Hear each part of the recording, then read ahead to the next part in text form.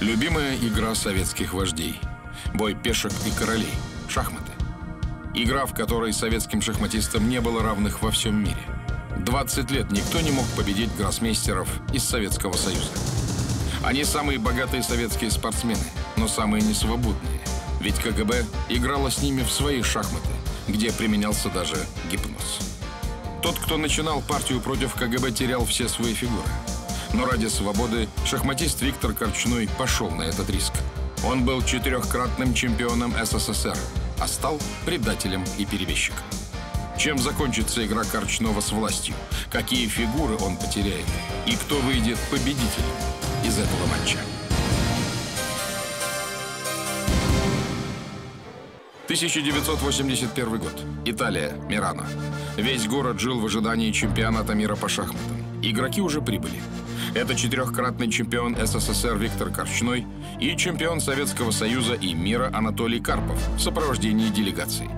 В его команде есть даже личный повар, который ни на шаг никого не подпускает к приготовлению еды для Карпова. Также в Мирану прибыли специалисты Комитета госбезопасности по отравляющим веществам. Офицер КГБ в отставке Владимир Попов утверждает, что помещение, где находился другой чемпион Виктор Корчной, обрабатывали специальными веществами, которые вызывают чувство тревоги и повышают артериальное давление. Вокруг Корчного было много людей.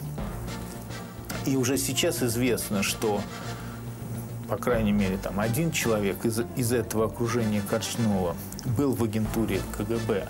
А, и для того, чтобы озвучить что-то, а, не обязательно же напрямую говорить. Вот знаете, господин Корчной, я так думаю, что если вы победите, то вас убьют, поэтому лучше вы не побеждали. Кому же мог помешать шахматист Виктор Корчной? За что ему могли уготовить такое наказание? 11-летний ленинградец Витя Корчной пошел в кружок шахмат от безысходности. Вообще-то он мечтал заниматься совсем другим. Была весна 1942 года. Жители блокадного Ленинграда пережили самую страшную зиму. От голода люди падали прямо на улицах.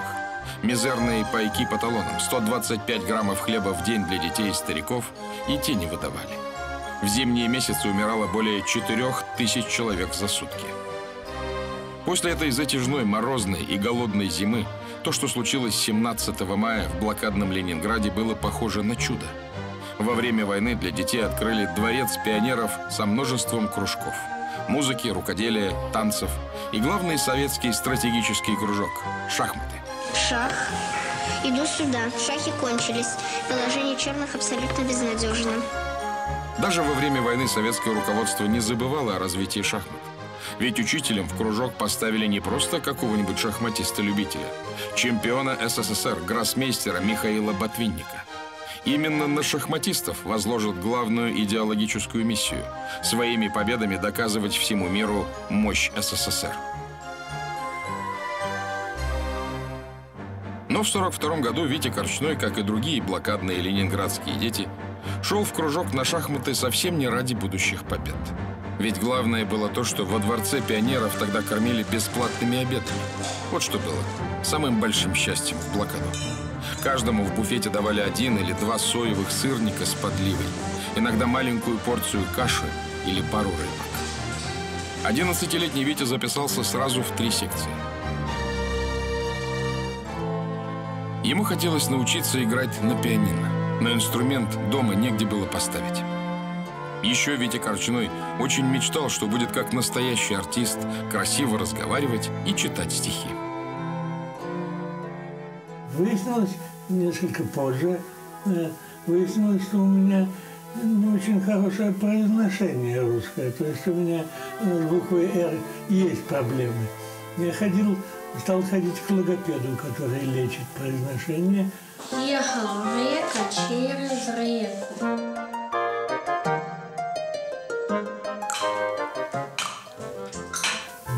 я был плох, я не выучился говорить нормально. Оставалась лишь одна секция – шахматы. и они станут главным делом его жизни. Но большая игра принесет большие драмы в жизнь Виктора Корчнова. Корчной сделал все, что советовал учитель Михаил Ботвинник. Но дальше шахматист начнет свою странную игру. Он не станет больше слушать чьих-то советов или выполнять просьб, а даже напротив, будет делать все с точностью да наоборот. Ведь в 1954 году он поймет, быть как все ему противно.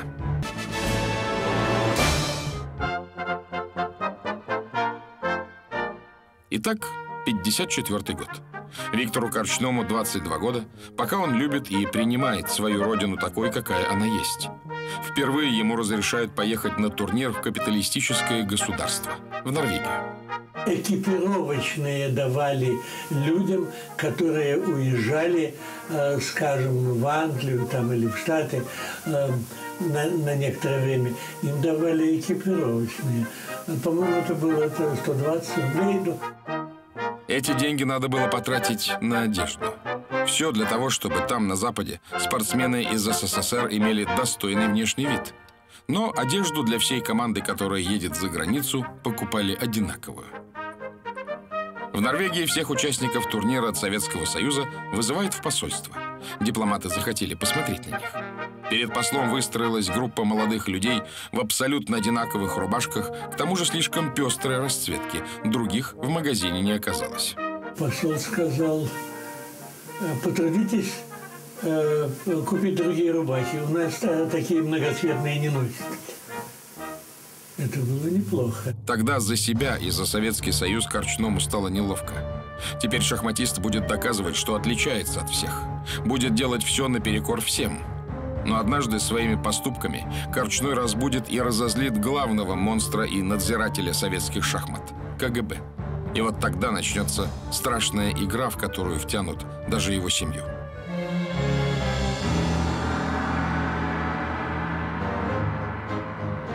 «1960 год. Виктор Корчной уже чемпион Советского Союза по шахматам. Начинается его профессиональный подъем – в тот период его семья тоже чувствует на себе все привилегии советских гроссмейстеров. Ведь доходы шахматистов одни из самых высоких в советском спорте. Кроме зарплаты, около 300 рублей в месяц, призовые фонды на международных соревнованиях. А это уже тысячи долларов. Непостижимые суммы для обычных советских умов. Не чувствовал, что, ну, естественно, когда у меня есть жвачка, которой других нету, но я считал, что я такой крутой, потому что у меня есть что-то такое, чего у других нету. Ну, то, И другие тоже так считали. Но на самом деле, по сравнению с другими шахматистами, например, Тиграном Петросяном, Корчные жили не так уж и шикарно. Ведь у Петросяна даже на даче дорогая аппаратура. А все потому, что Корчной принципиально поступал не так, как другие. Играли они у какого-то сталелитейного магната. То есть э, были под покровительством. Там, и когда все это кончилось, там э, Виктор Львович выиграл, тот, э, он пошел в магазин, стал покупать э, технику. Ну, разудить плечо, вроде бы деньги были. Он говорит, извините, за вас платит магнат. Да чтобы за меня платил магнат, общем, выложил э, половину того, оставил половину того, что он накупил, что было весьма обидно. К 1963 году Корчной уже дважды чемпион Советского Союза. Его непростой характер пока еще не раздражает КГБ, которая контролирует всю шахматную ассоциацию, но это скоро закончится. Куба, Гавана. К Корчному подходит человек из местной шахматной федерации. Есть просьба к вам. С вами хочет сыграть один очень известный человек, большой любитель шахмат, министр промышленности, наш национальный герой Че Гевара. Корчнову попросили только об одном – руководитель шахматной федерации Кубы приходил э, ко мне и просил сделать ничего с этим знаменитым человеком. Человек, человек знаменитый, человек э, министр индустрии, а заодно, а заодно э, спонсор, что ли, покровитель, покровитель шахмат. Вот так. По фамилии Эрнесто Че Гевара. Корчному устроить такую ничью ничего не стоило. Ведь игра неофициальная, никаких званий, никаких денежных премий. Просто показать на шахматной доске, что Куба и СССР – друзья. Но советский шахматист сделал все наоборот. Он просто разгромил любимца всей Кубы Че Гевару и выиграл у него во всех трех сеансах. За этот матч Корчнова не наказали, но такие поступки в КГБ не забывают. А пока гроссмейстер даже не представлял, какую игру способны вести советские спецслужбы.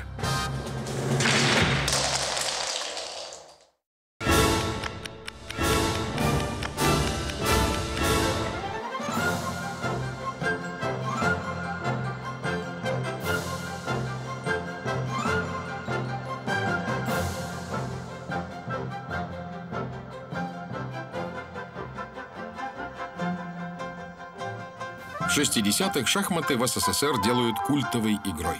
Турниры устраивают в школах, домах пионеров, на заводах и даже во дворах под открытым небом. По телевидению ведут специальные уроки. Но в 1972 году впервые за 20 лет у советских шахмат появился реальный сильный враг.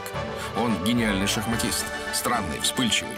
И вдобавок ко всему еще и американец. И это во время Холодной войны. Он это Бобби Фишер. В 1972-м Фишер сделал то, что на протяжении 20 лет было не под силу ни одному шахматисту. Он подорвал престиж СССР. Именно тогда все болельщики в СССР дружно подхватили слова новой песни. Высоцкий написал ее именно по этому случаю.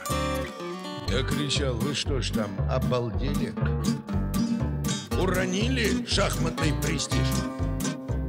А мне сказали в нашем спортотделе Ах, прекрасно, ты защитишь Но учти, что Фишер очень ярок Он даже спит с доскою, силу вьем Советский шахматный престиж уронили в Исландии, в Рейкьявике, в 72-м.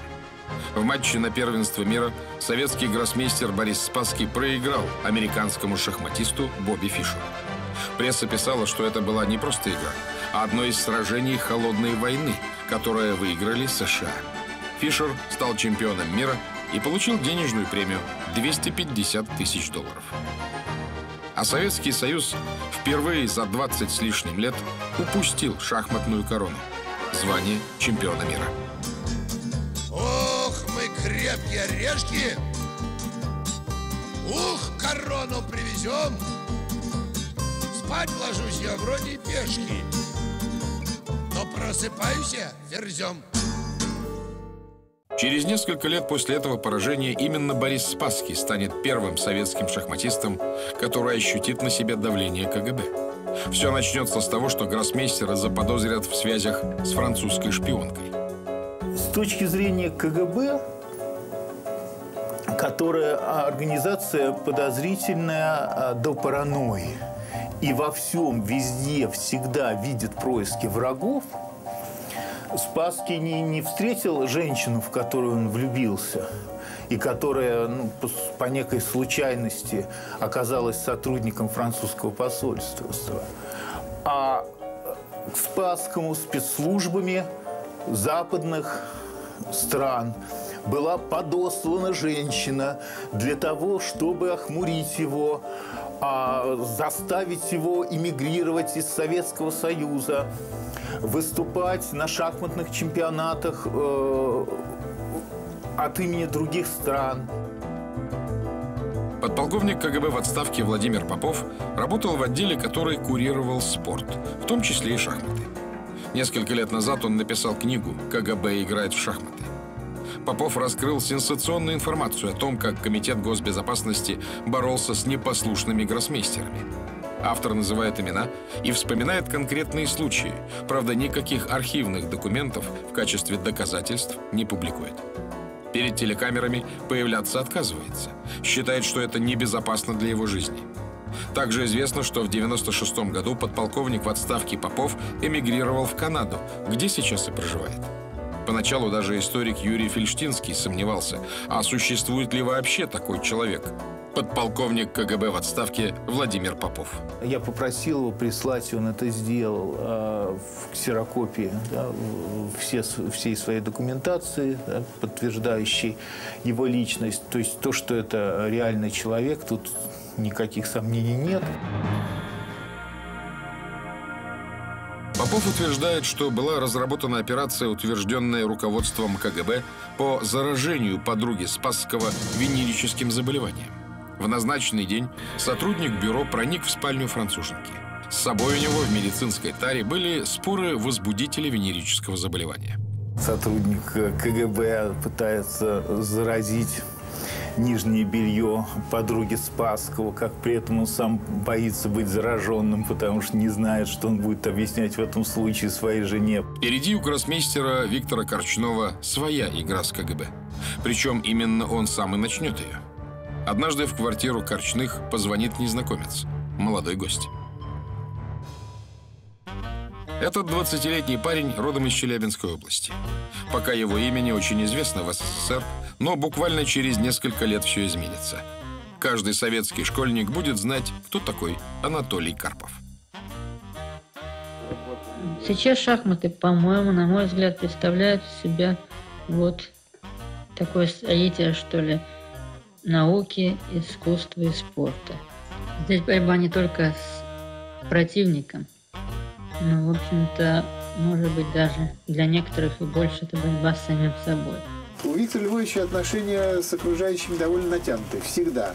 Так или иначе он там э, что-то сделает, что отношения испортит. Кому-то что-то не то скажет, кому-то нагрубит, кто-то ему нагрубит. А мать у меня, наоборот, всегда пыталась сглаживать углы, и она всегда пыталась как-то расширить круг нашего общения и знакомых. И она как раз и Карпова, он к нам приходил все время, она с ним общалась. Мать уже могла прикинуть, куда ветер дует заранее.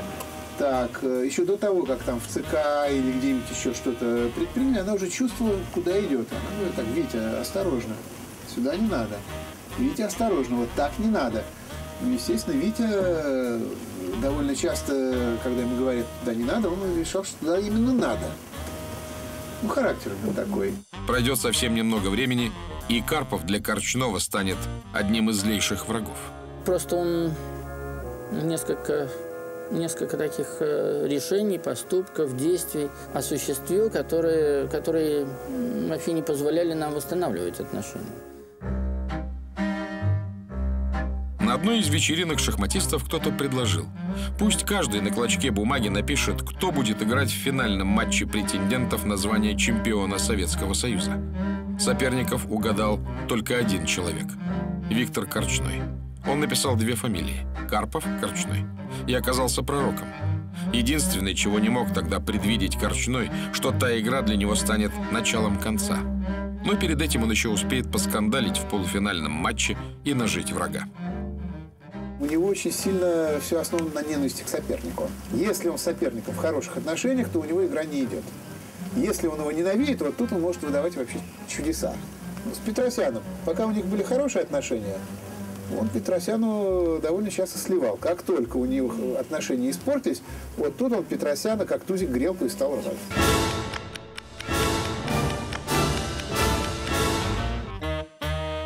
Одесса, 74 год. Начался самый скандальный матч в истории советских шахмат. Играют Виктор Корчной и Тигран Петросян. Это полуфинальный матч на звание чемпиона СССР. Победитель сыграет в финале с Анатолием Карповым. Шла пятая партия. Петросян проигрывал Корчному со счетом 1-3, но вдруг шахматы на столе стали подпрыгивать. Проблема была в том, что там качалась сцена в этот момент. То есть стол стоял ножками, э, там был круг, и стол стоял э, частью ножек на кругу, частью на этом. И в какой-то момент ну, Виктор Львович почувствовал, что стол качается, ему это не нравится.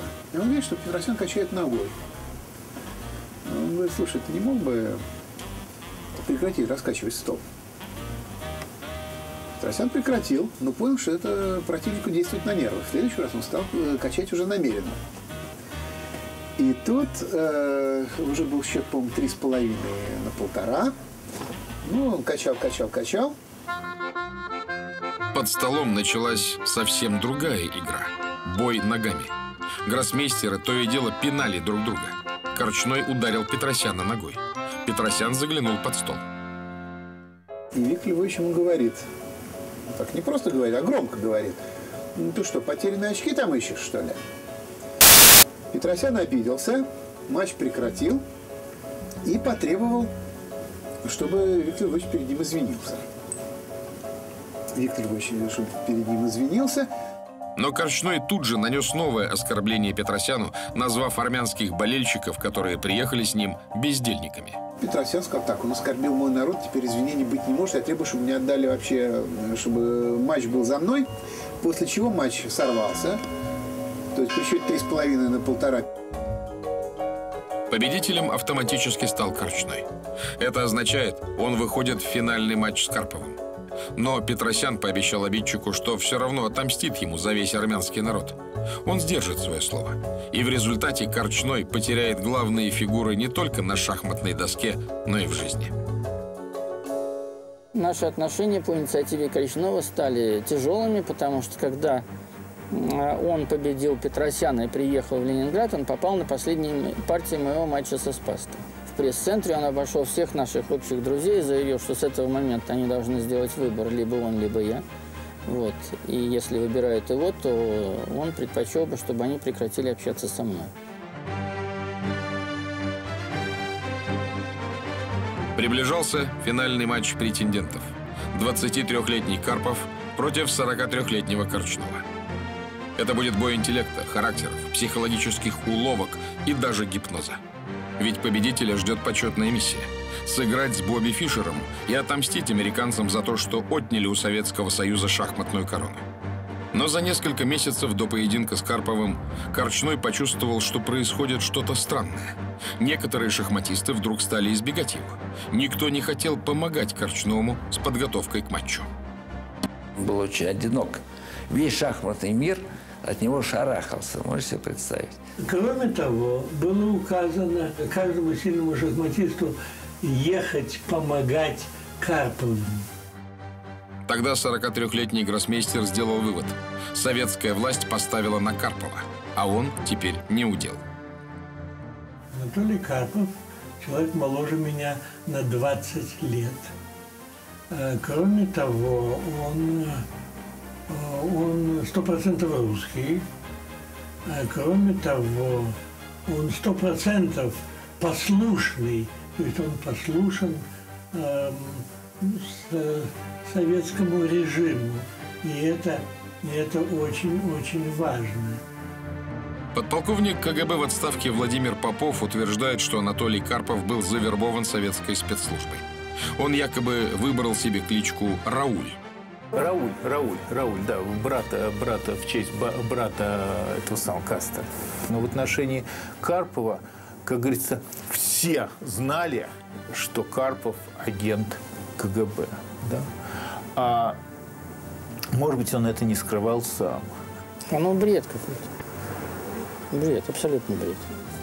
Ну, если человек пишет документально, так ты пиши документально. Если это вымысел художественный, то так и пишу.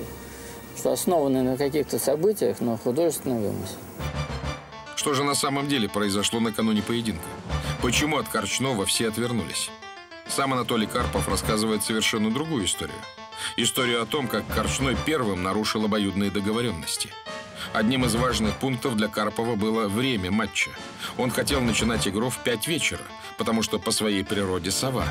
Корчной с неохотой согласился, но выдвинул свои условия. Корчной сказал, ну, знаете, Анатолий Евгеньевич, вот э, э, все же понимают, что я хочу играть в Ленинграде. Поэтому, наверное, вам надо было поехать и от имени э, двоих с министром спорта Павловым и высказать ему нашу общую позицию. Ну, я поехал в Москву. Карпов встретился с министром спорта Сергеем Павловым. Договорился о том, что матч состоится, как и хотел Корчной в Ленинграде. Я только зашел в свой номер.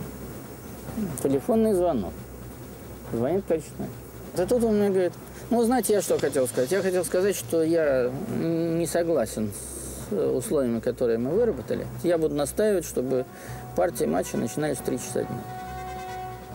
Рассерженный Карпов снова идет к министру спорта Павлову и рассказывает о разговоре с Корчным. Я говорю, Сергей Павлович, ну, знаете, я, я виноват, конечно, что вот я пришел, вроде бы мы и затвердили все. Но сейчас моя позиция простая. Готов играть где угодно, но не в Ленинграде. Тогда принимаем решение. Будете играть в Москве в 5 часов вечера. Я говорю, ну меня устраивает. Перед началом матча Корчной подавлен. Он перестает верить в свои силы. И тогда на свой страх и риск Виктор Львович решает обратиться к психологу Рудольфу Загайному. Загайнов днем и ночью опекает гроссмейстера. Он заставляет Корчнова бегать по утрам, днем спать по несколько часов, внушает, что он сильный шахматист, он победитель. Обычно мой стиль работы тотальный. Я поднимаю спортсмена, я укладываю его спать, я обеспечиваю дневной сон, что очень для спортсмена важно. Ну, применяю гипнотическое воздействие, естественно. Загайнов знает, как с помощью гипноза сделать так, чтобы Карпов плохо играл. Они доказывали, психологи, что психология способна на фантастические вещи. Август 1974 года. День судьбоносного матча. Корчной все сильнее ненавидит своего 23-летнего соперника. Но именно это чувство так необходимо гроссмейстеру. Ведь чтобы выиграть, ему нужен враг. В данном случае это Анатолий Карпов. Плохой человек. Я ничего больше сказать не хочу про него. О том, что у него была кличка с детских лет гаденыш, вы, конечно, прекрасно знаете. Я просто играю в шахматы и все. Стараюсь, э, стараюсь отойти от каких-то и отношений персональных, и от, от персоны. Я очень не любил Карпова, и я влиял на него намеренно, могу сказать. Но есть приемы, которые, которые заставят отвлекать, хотеть спать во время партии. К сожалению, я тогда был молодой еще и пользовался запрещенными приемами, потом прекратил. Обычные зрители даже не заметили, как шахматисты начали психологическую дуэль. Очень сильное влияние друг на друга. Мы разрабатывали с Корчным даже... Он говорит, вот на меня смотрит. У Карпа такая привычка плохая. Когда противник думает, он на него уставит за своими такими не очень полукосыми глазами. И Корчный говорит, что мне делать? Я говорю, ничего. Если вы покажете, что вы обращаете на это внимание, будет еще хуже. Но все-таки Корчной придумал свою уловку. После одной из партий он покупает очки с темными зеркальными стеклами. Вот, представляете, Карпов на него опять уставился, Корчной вынимает огромные зеркальные очки, одевает и зайчики пускает как бы по лицу. Карпов так сидит, обалдел. А Корчной сидит еще усмехается, потому что на меня так поглядывает. Эффект был колоссальный. Те обратились в судейскую убрать. Он говорит, а пусть он джентльменское соглашение не смотрит. Вот. Но ну, мы договаривались не заходить за, за спину, то есть не вставать сзади. Коричнев это раздражало. Я тоже не очень любил, хотя я не обращал особого внимания. Но у это, это было особое требование. Шел третий месяц беспрерывного матча. Гроссмейстеры уже истощены и физически, и психологически. Борьба с Карповым значит, была три месяца. Это абсолютно ненормальный срок. Эти матчи надо, конечно, прекращать. Для здоровья Карпов он был уже выглядел больным в конце матча, и мы сделали рывок, проигрывая 0-3. Его румяна гримируют Карпа, он уже был дохлый, зеленый. Несмотря на помощь психолога Загайнова, несмотря на гипноз, несмотря на всю ненависть к Карпову, Корчной все же проиграл этот решающий матч. Всю дальнейшую жизнь Корчнова изменит журналист, который подойдет к нему после окончания матча. В интервью Корчной рассказывает, что на него давили сверху, что силы были неравны. Карпову победу обеспечили нужные люди. Интервью напечатали. И Тигран Петросян, тот самый шахматист, который обещал отомстить Корчному за оскорбление, показал эту статью шахматному начальству руководитель э, этого шахматного отдела при Всесоюзном комитете спорта Ивонин сказал мне, э, что я должен перестроиться, иначе, сказал он мне, я не боюсь этого слова, нам придется расстаться. Корчнова наказали. Его отстранили от всех турниров. Страшнее кары для шахматиста не придумаешь. Тогда Корчной вместе с женой Беллой стал планировать побег на Запад. Они всей семьей должны были покинуть Советский Союз. Только через два года Корчному разрешили поехать на шахматный турнир в Голландию. Но это вовсе не означало, что гроссмейстеру простили его поведение. На самом деле получить разрешение поехать на международные соревнования Корчному помог человек, которого он упорно считал своим врагом. Анатолий Карпов. Я за него ручался, когда его дисквалифицировали. Во-первых, я добивался, чтобы дисквалифика... дисквалификацию сняли. Вот. А во-вторых, я поручался, что его можно выпускать на турниры, что он не останется. Чтобы не подставить Карпова, Корчной должен был вернуться в Союз. Но его жизнь снова круто изменили журналисты. На этот раз из голландской прессы. Когда даю интервью, я стараюсь говорить то, что я думаю. Когда я закончил интервью, где-то поздно вечером я встретил приятеля, который сказал, все, что вы говорили, уже передано в Москве, и вам вряд ли, вряд ли пора возвращаться в Советский Союз. После финального матча в Голландии Корчной протянул своему сопернику Энтони Майерсу лист бумаги и спросил, как на английском правильно написать «политическое убежище». На следующий день Корчной пошел в полицию. Той же ночью его сын в Ленинграде настроил «Голос Америки». Одна новость касалась его отца. Она была шокирующей. Ведущий сообщил, что чемпион Советского Союза, шахматист Виктор Корчной, попросил политического убежища в Голландии. Это означало, что его жена и сын автоматически становятся врагами народа. Ну, естественно, был шок, потому что готовились к, к, к поездке, к отправлению на Запад все. А он ухитрился как-то остаться один. Причем подставить под удар э, всю семью. Я, конечно, верил в то, что эм, моя семья так долго там, там не просуществует, ее удастся спасти там раньше времени, ее вызволить из советского рая. Вот, вот так я думаю. Белла Корчная восприняла все это как предательство со стороны мужа. Как им теперь жить в СССР, жене и сыну врага народа? Это даже больше, чем скандал в шахматном мире, ведь бежал четырехкратный чемпион Советского Союза. Всех советских гроссмейстеров заставили подписаться под письмом, в котором осуждался поступок предателя Корчнова. Отказались ставить свои подписи только трое. Один из них – Борис Гулько. Даже письмо было не для него, оно было для меня. Это, вы знаете, когда человека принимают в банду, знаете, там есть такое так я себя воспринимал, э, помазаться кровью, такой есть криминальный термин. То есть он должен кого-то убить не для того, чтобы это было ну, э, не для выгоды дела, а для того, чтобы он уже принадлежал к этой банде и не мог от них уйти. Такое подписание письма, это было как вот помазаться кровью, что вот я принадлежу к ним. Гулько запретили выезжать на международные турниры. Семь лет он добивался, чтобы его и жену выпустили из Советского Союза.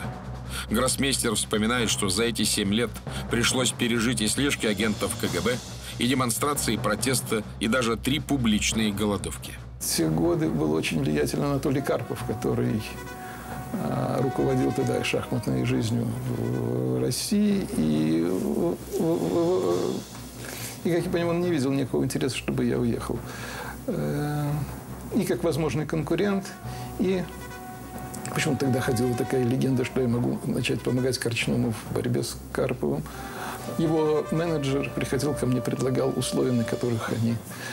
Вернее, спрашивал условия, э, на которых я готов остаться. Я сказал, что таких условий нет. Тем временем в Ленинграде Белла и Игорь Корчные получили липовое приглашение в Израиль от некой тети Ханни. Это был единственный способ добиться того, чтобы семью гроссмейстера-беглеца выпустили из Союза. Корчные стали собирать документы. Сыну пришлось бросить учебу в институте. Но в Авере жене и сыну Корчного дали короткий ответ. Из страны никуда не уедете. Игоря призвали в армию. Я ушел в бега и полтора года от них бегал по стране. 1978 год. Виктор Корчной переехал в Швейцарию. Официально он все еще женат. Но на самом деле его сердце принадлежит другой женщине, гражданке Швейцарии Петре. Она 10 лет отсидела в советских лагерях по подозрению в шпионаже. В это же время, в 78-м, сын Корчнова Игорь все еще в бегах. Милиция ищет его по всему Советскому Союзу. Анатолий Карпов в 78-м не просто гроссмейстер. Он настоящая звезда советских шахмат. В 78-м в Москве всего три «Мерседеса». Леонида Брежнева, Владимира Высоцкого и 27-летнего гроссмейстера Анатолия Карпова. Именно в этом году Карпова ждет серьезная игра – матч претендентов на звание чемпиона. Но это будет не просто соревнование шахматистов, а настоящая политическая битва советской системы против западной. Советский шахматист против предателя Родины, беглеца Виктора Корчнова. Они снова встретятся. Матч будет проходить на Филиппинах, в Багио. 20 лет назад я встретился с Толей. И он так очень обиженно мне говорит, ну что на меня все наезжают? Я тут ни при чем. То есть мы, я как раз хотел, я как пошел в ЦК и говорю, ребята, выпустите, пожалуйста, Качнову семью. То есть там он уже был с Петрой. И в самый разгар матча выпустите семью, такой ему облом устроим, и выиграю я в сухую. На что ему сказали, Толя, надо рассчитывать на себя, а не жульничать. Сыграет матч по-человечески. И все, Толя больше не, об этом не заикался. Вместе с Карповым в Багио приехала делегация из СССР. Советский Союз не мог допустить, чтобы победу в этом матче одержал перебежчик. У меня были тренеры э, Таль, Балашов, Зайцев, три. Руководитель делегации Батуринский, врач Гершинович, значит, так называемый специалист по сну Зухарь, повар и четыре человека безопасности. Безопасности разные, разные технической безопасности, биологической безопасности и физической безопасности. Ну, ну проверяли, еду проверяли, питание, чтобы ничего не подсунули. Также на Филиппины в Багио с Карповым приехал и психолог Владимир Зухарь. Официально он нужен был для того, чтобы обеспечивать советскому гроссмейстеру хороший сон. Офицер КГБ в отставке Владимир Попов утверждает, что Зухаря взяли на матч для других целей, чтобы он негативно влиял на психику Корчнова. Как только начался матч, Зухарь сел в первом ряду. Зухарь только сидел. Более, он только сидел. И более того, э, пока он сидел, его охраняла гвардия, эти самые офицеры КГБ его охраняли. Корчной начал нервничать, что там сидит на него в темных очках смотрит. Не нужно было никакого гипноза. Само присутствие Зухаря мешало Корчному сосредоточиться. Он попросил, чтобы советского психолога удалили из зала. Но на эти требования никто не отреагировал. Тогда через несколько дней в зале появились мужчина и женщина в ярко-желтых одеждах. Как оказалось, это представители индийской секты Ананда Марга. Они пришли помочь Корчному справиться с психологическим давлением, которое на него оказывают.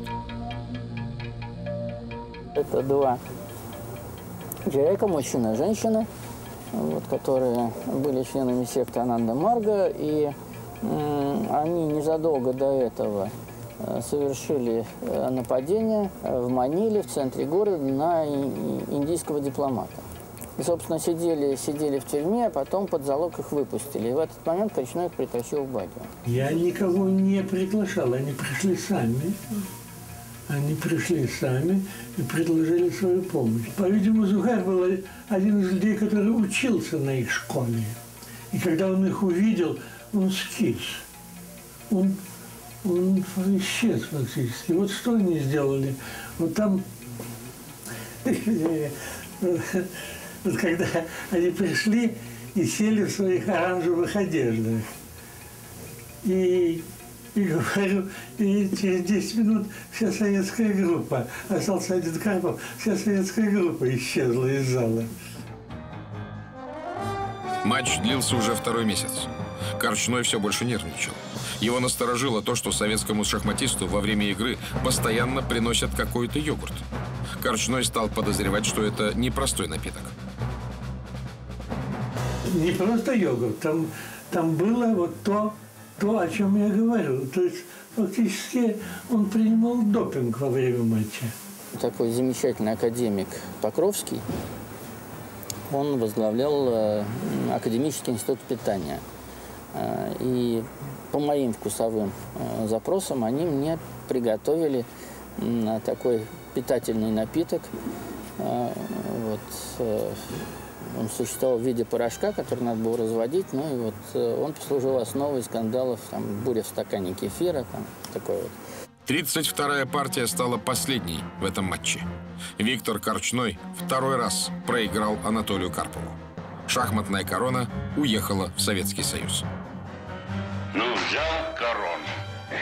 Держи. Правда, никто не узнает, потому что э, то есть каждый считает, что правда на его стороне. Зухарь приехал и жутко злился, что ему мало заплатили. Ну, ты психолог, тебя взяли на Филиппины, так будь доволен, съездил на- в кап-страну на два с половиной месяца. Зухарь говорит, слушай, я выиграл этот матч. Если бы не я, черта с два бы он что бы то ни было сделал. Ну, у Карпова, естественно, совершенно другая точка зрения. Играл все-таки он, и выиграл все-таки он.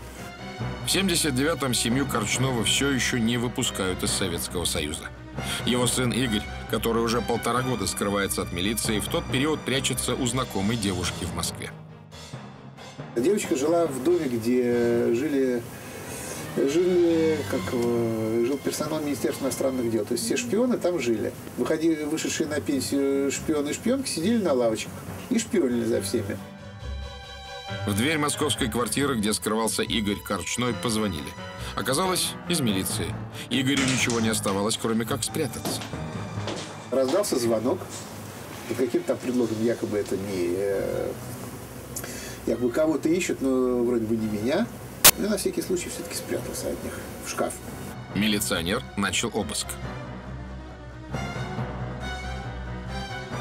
Когда же дверь шкафа открылась, я понял, что все. Пришли именно за мной.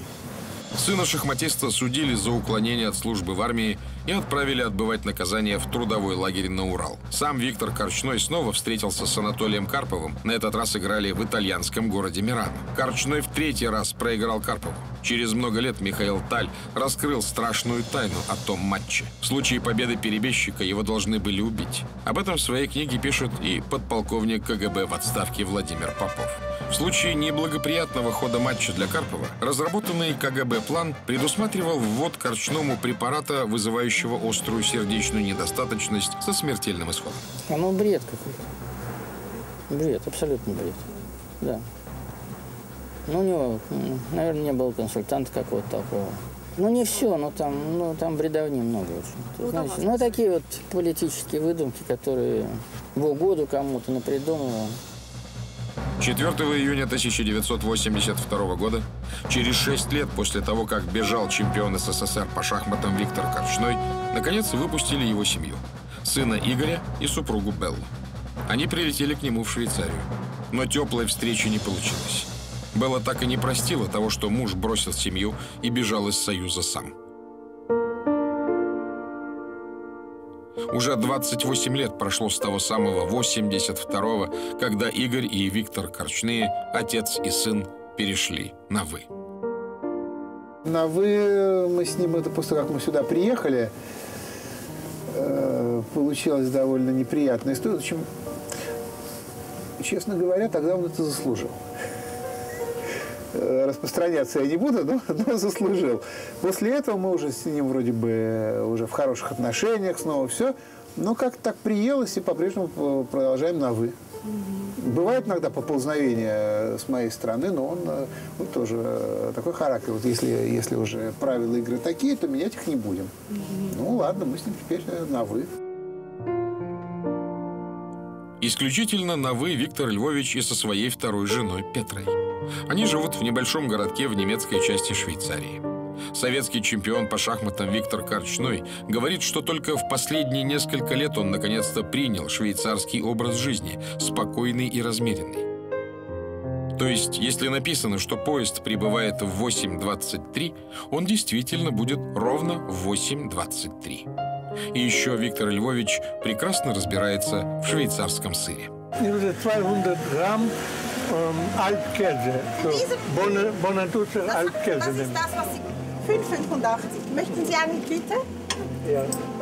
Корчнова в Швейцарии знают не только как шахматиста, но и как актера. Он снялся в рекламе альпийского молока.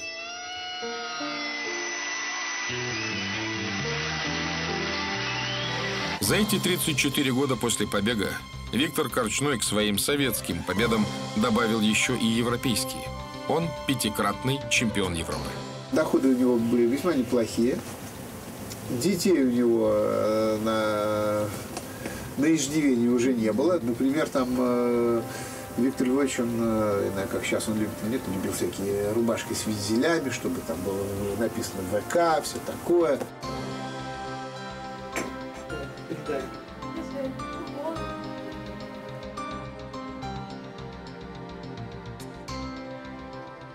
Тридцать с лишним лет назад, когда э, то ли э, правительство меня, меня прокляло, и люди, люди как-то испарились.